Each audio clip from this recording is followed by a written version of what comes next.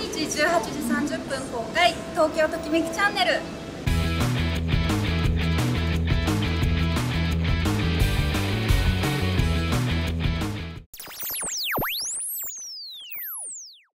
男の子の方が純粋かな、うん、結構えなんか結構女子も言う人は言うんで。まあそう下ネタ、うん、から意外と男の子の方が純粋かなって思う。自分は女の子。なんか高校の男子とか見てると男の子結構すごそうなイメージが。女の子の方が純粋に生きる子が多いみたいな。男子と女子どっちが純粋だと思います？男子。男子。えー、絶対そうですよ。女子大なんで。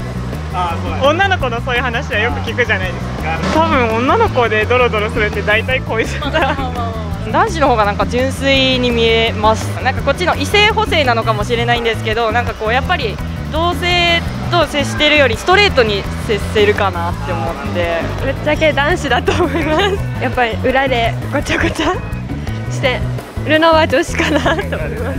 私も男子だとえなんか男子は表で言ってる感じがあるけど本当は実際なんか何もみたいな私たち女子校なんですけど共学にいた時は男子の方が純粋だと思ったんですけど私たちの学校の女子校の女子は純粋かなって思う。まあ女子は純粋だと。思うえあでも単純だと思うけど純粋だとは思います男子。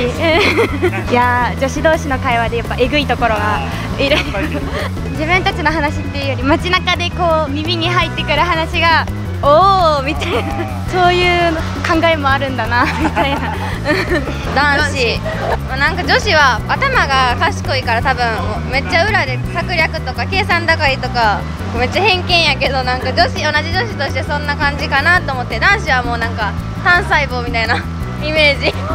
単純やちょっと女子女子の策略にコロッと引っかかっちゃうみたいな。自分がずる賢いからきっとその辺の 女の子ほら。ずる賢いんじゃないかなと。一緒女としてな分かるよな、それに引っかかる男の人は単純。